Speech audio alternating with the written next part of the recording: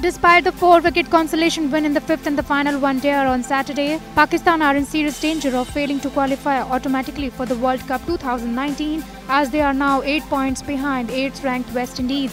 However, Australia and England have consolidated their positions on the ICC ODI team rankings after completing identical 4-1 series victories over their respective oppositions in the T20 International Series which ended on Sunday. Australia, who scored a 5-wicket win over Sri Lanka in the final match in Pallekele, have moved from 123 points to 124 points.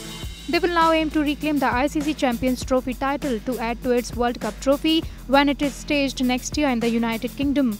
IANS report.